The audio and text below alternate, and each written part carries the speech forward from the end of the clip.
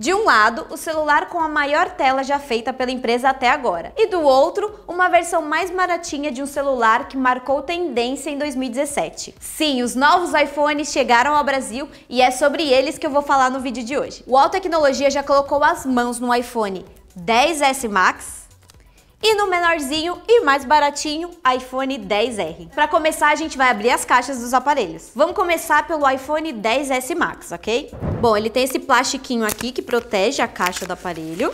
A gente vai abrir.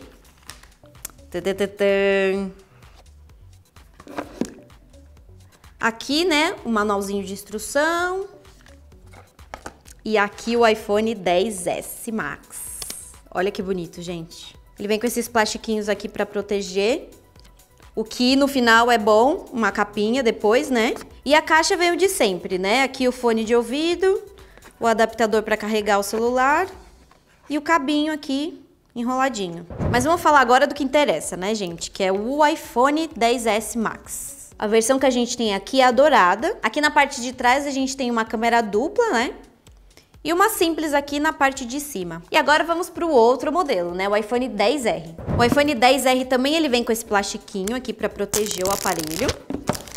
E abrindo a caixa, vou colocar um pouquinho para cá, o mesmo manualzinho, né? De instruções. Ah, e o iPhone. Olha a cor desse iPhone, gente.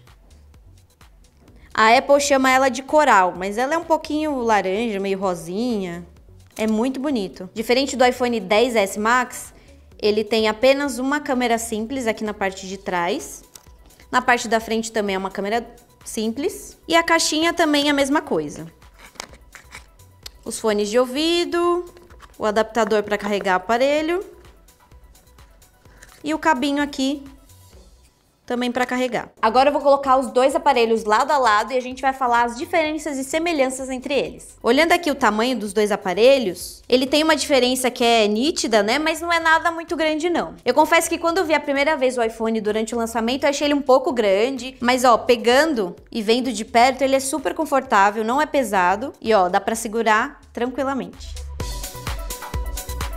Já o pequenininho, né, quem gosta de aparelho pequenininho vai adorar esse aqui, que é o 10R. Além das cores bonitas, né, que eu já falei aqui e não dá pra não repetir porque é realmente lindo, ele é mais confortável de segurar ainda, porque ele é menorzinho. A tela do iPhone 10S Max tem 6,5 polegadas e é mais ou menos 16,5 centímetros. Apesar de ser a maior tela já feita pela Apple, no tamanho físico do aparelho, ele se aproxima um pouquinho ao tamanho do iPhone 8 Plus. Então assim, a Apple conseguiu manter uma tela grande grande num aparelho que é quase o mesmo tamanho do outro. Agora, comparando a tela do iPhone 10S Max com a do iPhone 10R, a do 10R é 6,1 polegadas. E aqui, ó, dá para notar que o 10R tem um pouquinho mais de borda do que o iPhone 10S Max. E além do tamanho, a tela do iPhone 10R tem uma resolução um pouco menor. Na prática, a gente ainda não sabe se isso vai ter um impacto muito diferente no uso do dia a dia, mas a gente vai testar e vai te contar depois. Mudando de assunto, vamos falar das câmeras, né?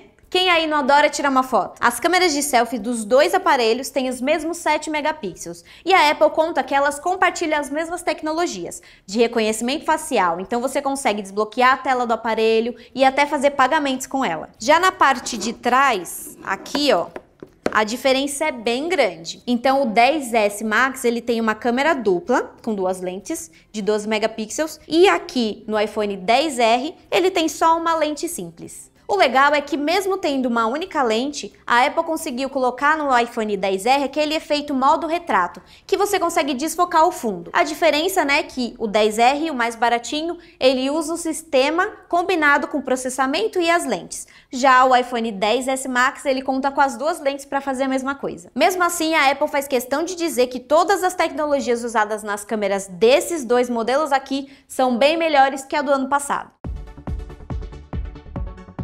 Agora, falando de uma configuração que é a mesma aqui nos dois modelos de iPhones, é o processador. Os dois modelos contam com o processador A12 Bionic, que é o de última geração feito pela Apple. Hein? A empresa diz que o processador de 2018 é 50% mais rápido que o processador lá de 2017. E a bateria, Bruna? Bom, a bateria a gente ainda precisa testar a fundo os dois celulares para ver qual ganha na disputa, mas alguns sites estrangeiros já fizeram alguns testes e o iPhone 10R, o mais simplesinho aí deste ano, acaba ganhando. E um dos motivos pode ser pelo fato de que a tela do 10R é inferior à tela do 10S Max. Bom, concluindo as nossas primeiras impressões dos dois iPhones da Apple, não dá para deixar de falar do preço, né? O iPhone 10R tem uma carinha de iPhone 10, um processamento bem melhor do que a versão do ano passado e ele vai chegar aqui no Brasil custando mais barato. A versão mais em conta deste modelo aqui vai custar R$ 5.199. Já o iPhone 10S Max chegou ao Brasil custando a partir de R$ 7.999. Se você gosta de cor, o iPhone 10R vai agradar bastante, viu? Ele vai ser vendido em seis cores e esta aqui é a coral. É muito linda, gente. Já esse modelo aqui, que é o iPhoneão, ele vai ser vendido na, nas cores dourada, cinza espacial e prata. E agora que você já conheceu um pouco mais sobre os novos iPhones, qual é o seu preferido? Qual?